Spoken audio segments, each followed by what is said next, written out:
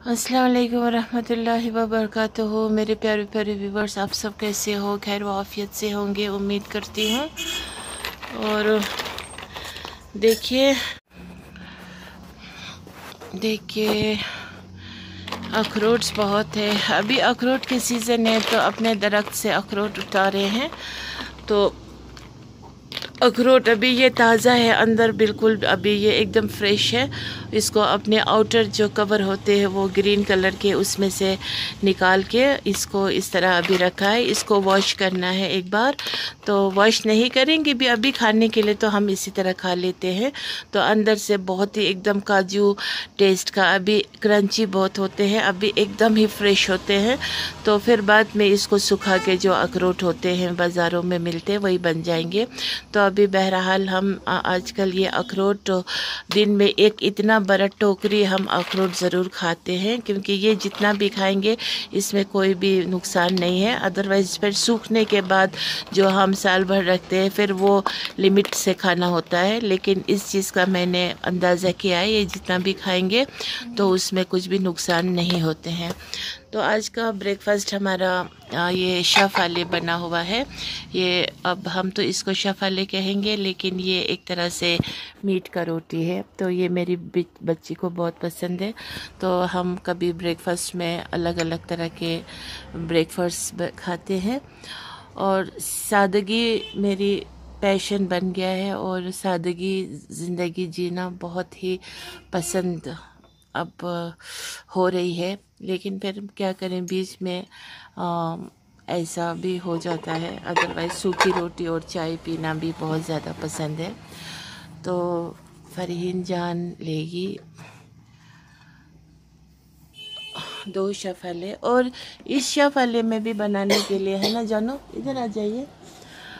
मेरे हस्बैंड को थोड़ा सर्दी ज़ुकाम हो रहे हैं, इसीलिए वो थोड़ी से अभी वो है सुस्त है। लेकिन फिर भी अभी ये इनका नाटक है। ये अभी शफ शफाले पाँच छः ज़रूर नोश फरमाएँगे अल्लाह के फजल से। और ये हमारा लाल चटनी एज़ यूजल ये बहुत ही चट आ, मतलब टेस्टी होते हैं। और मैं ये कहना चाह रही थी कि ये शफ शफाले तो कहते हैं इसको लेकिन इसको है ना हम आ, उस पर सेक के शैलो फ्राई करके हम बनाते हैं असली वाला शफ शफाले।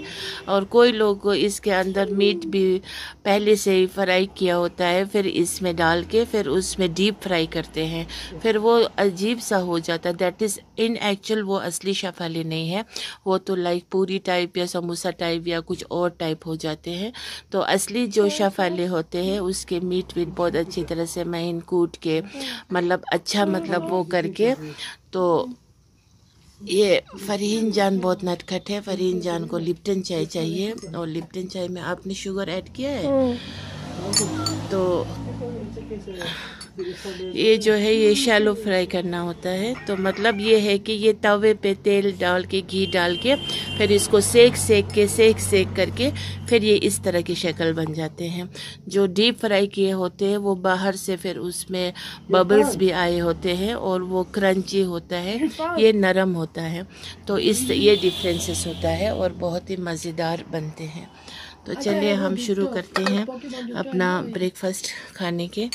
और दोनों बच्चियाँ लिप्टन टी ले रहे हैं और मैं और मेरा हस्बैंड नून चाय ले रहे हैं बिकॉज़ सॉल्ट टी मुझे सुबह सुबह पसंद है। जी तो फिर अब मेरे हस्बैंड जी जो है वो मोशन में आ गए हैं। तो आप ज़रा बताएँगे शफाली आपको कैसा लग रहा है? बहुत ही बढ़िया है बहुत ही अच्छा टेस्टी है और सेहत खराब हो तो ऐसा स्वादिष्ट खाना खाना चाहिए उससे टेस्ट अच्छा आएगा ये। लो। कुछ। और ये मेरा और ये शफल है। दीदी का चाय दूर बहुत है। चाय पीऊँगा इससे।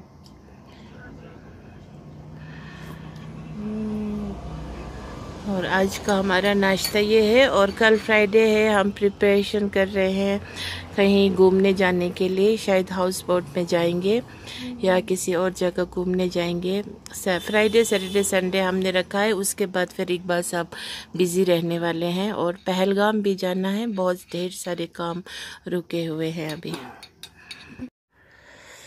और देखिए ये पूरा मटन शफले है। पता ने मेरे हस्बैंड को बड़े का गोश्त से बहुत चिड़ है।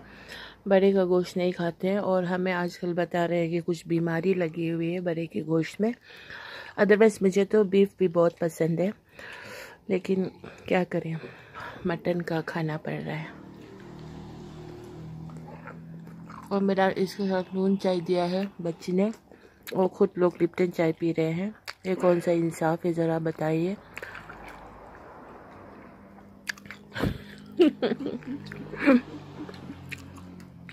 बोलिए बोलिए। पठान साहब बोलिए। और ये सब मेरे हस्बैंड के बदौलत से है। इतना अल्लाह हम ऐश करते हैं। अल्लाह करे पे हमको हम गुनेगार है। इज़्ज़त देने वाला अल्लाह जिल्लत देने वाला अल्लाह। शुक्र है अल्लाह का कि इज़्ज़त भी दिया है आज तक इंशाल्लाह आगे भी देंगे।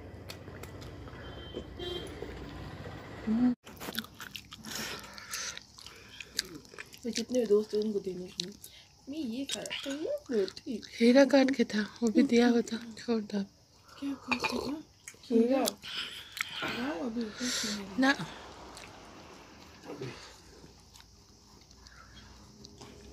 ये कीटाणु फैला है ऐसे ऐसे ऐसे नहीं ऐसे ऐसे ऐसे है ना। देखिए बहुत मज़ेदार है मीट भरा हुआ है। और मैं मिर्ची बहुत खाती हूँ। उसका नहीं था। और मिर्च डाल के करता फिर तीन है। दीदी ने बताया वो सुना ना? लाइट बंद कर दी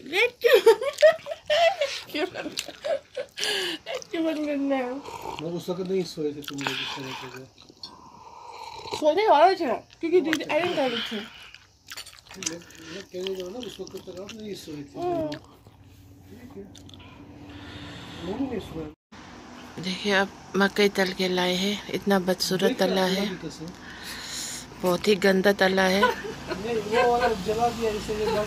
बहुत ही बदसूरत दिख रहा है और ना मज़े होंगे इसमें। ये कौन खाएगा बेटा? गाय को डाल दो। इतना गंदा थोड़ा तो अच्छे से तलना था। अच्छा तो फिर ये देखिए, आजकल कश्मीर का अभी अभी बाग से तोड़ के लाए हैं।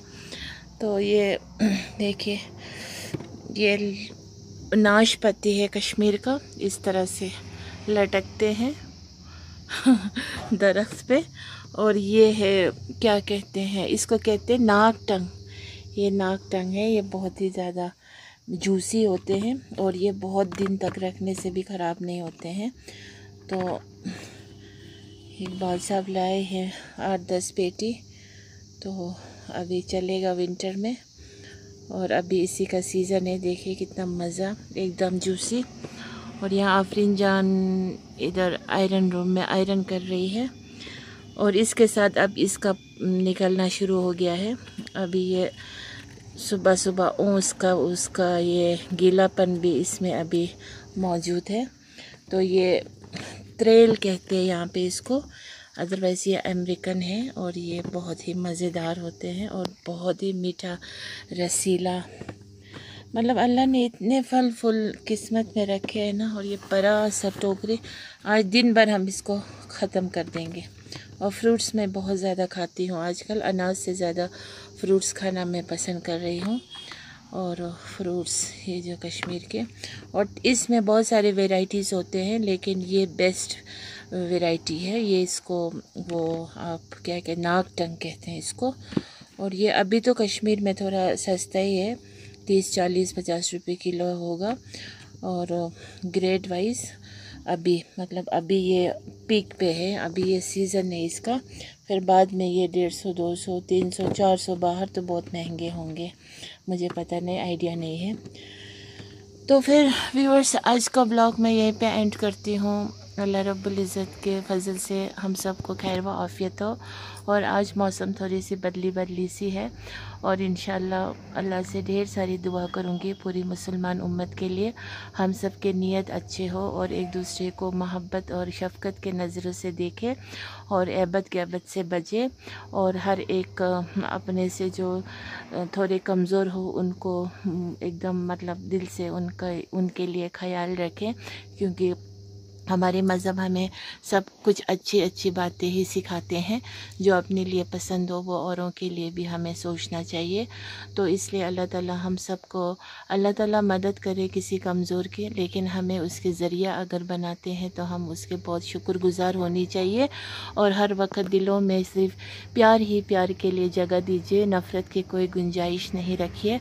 और अपने ही रिश्तेदार में अगर कोई आ, मतलब दीन से भटक रहा हो और कोई दीन से बाहर जा रहा हो तो ज़रूर फ़िक्रमंद हो जाइए, क्योंकि आज माशरे में ऐसे बहुत घराने हैं जहाँ पे माँ बाप की वजह से औलाद भी बिगड़ रहे हैं और वो माँ बाप कैसे लोग होते हैं जो दुनिया की ख्वाहिशात रखने वाले, जो आखरत के फ़िक्र नहीं लेने वाले, मुँह से तो बहुत कुछ अल्लाह अल्लाह करते हैं, लेकिन दिल में उनके यही बसे होते हैं, दुनिया के प्यार व मोहब्बत और बेवा औरत हो तो उनको ज़रा सा भी एहसास फ़िक्र नहीं होता है कि मैं अब बेवा हो चुकी हूँ, मेरे शोहर इस दुनिया से चले जा चुके हैं तो मुझे किस तरह से अपनी ज़िंदगी गुज़र बसर करने हैं, उस तक की फ़िक्र नहीं होती हैं, सिर्फ़ लेपा पोती में लगे होते हैं, मेकअप करना, ये करना, वो करना।